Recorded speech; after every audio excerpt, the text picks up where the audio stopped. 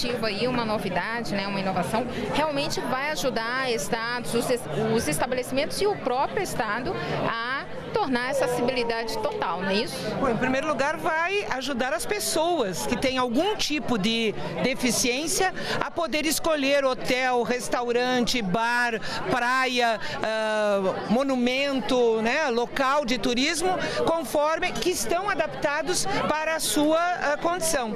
Então, é, foi fantástico, eu acho que, acho que é uma da, das grandes né, contribuições que o Ministério do Turismo faz nesse momento, né, para a gente poder ampliar, inclusive, a oferta de benefícios para as pessoas com deficiência, como o programa, né, o plano Viver Sem Limite já vem fazendo na, na educação acessível, inclusiva, na questão né, do, dos ônibus para o transporte, na saúde, na, no desenvolvimento de tecnologia assistiva, né, de prótese, órtese, todos os equipamentos que as pessoas com deficiência uh, precisam. E também a questão de acessibilidade, né, que é tão importante para as pessoas poderem né, se deslocar uh, quando possuem algum tipo de deficiência. Ainda há desafios. Ainda há muitos desafios. Nós precisamos, nós temos praticamente quase todos os estados, está faltando apenas o estado de São Paulo aderir né, ao programa do Viver Sem Limite e nós esperamos que em todos os estados brasileiros e em todos os municípios a gente tenha a soma dos esforços, recursos e esforços do governo federal, estadual e municipal para dar oportunidades para todos os brasileiros e brasileiras viver com dignidade, viver sem limite. Ministra, como a senhora enxerga essa, é, é, essa melhoria da, da acessibilidade na área de turismo, principalmente com a possibilidade do país cada vez mais receber visitantes e também de brasileiros deficientes poderem se deslocar pelo país? Bom, cada vez mais nós precisamos adequar os nossos equipamentos turísticos para receber todos.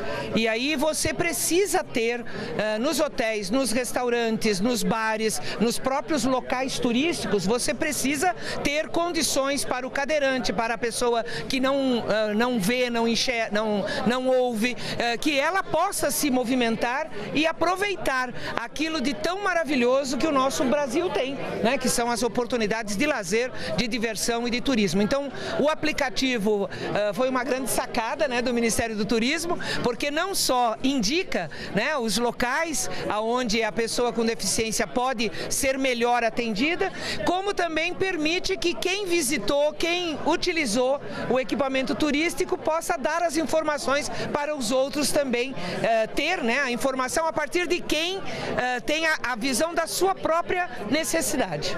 As publicações que foram lançadas hoje, qual a importância delas para o acesso uh, dos, das pessoas com deficiência aos seus direitos? Bom, nós tivemos várias publicações.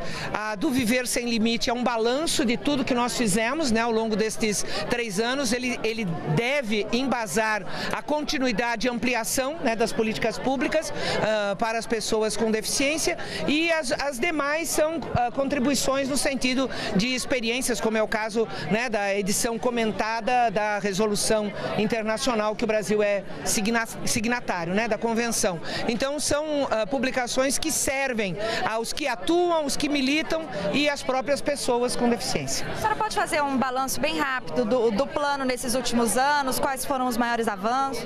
Olha, nós tivemos avanços uh, de forma significativa em várias áreas.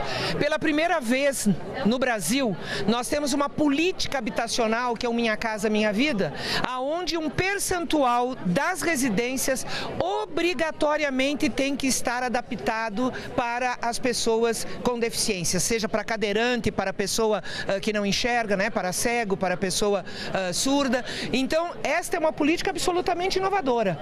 Nós temos também a questão das salas multiusos, o, o transporte escolar né, adaptado para poder fazer o transporte das pessoas com deficiência. Na área da saúde, nós inclusive vimos aqui uh, vídeo né, do, do SER, que são os centros especializados em reabilitação uh, e o trabalho que vem sendo feito pelo Ministério de Ciência e Tecnologia, desenvolvendo equipamentos, próteses, órteses, equipamentos de, de tecnologia, né, de, de computação para as pessoas que possuem algum tipo de deficiência.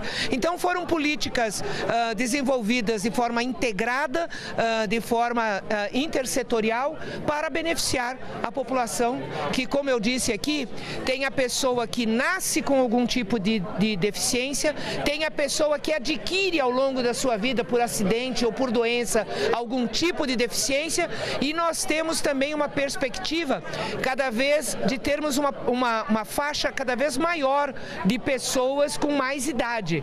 E as pessoas com, uh, com o avançar da idade também adquirem, enxergam menos, ouvem menos, têm maior dificuldade de locomoção.